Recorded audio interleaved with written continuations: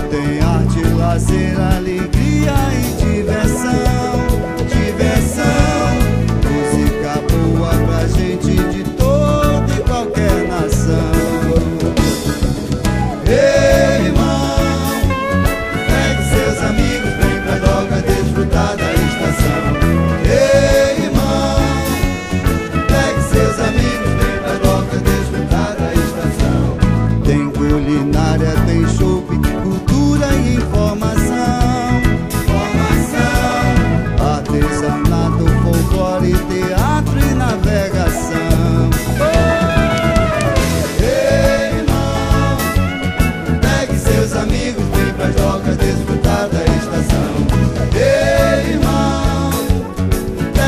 meus amigos.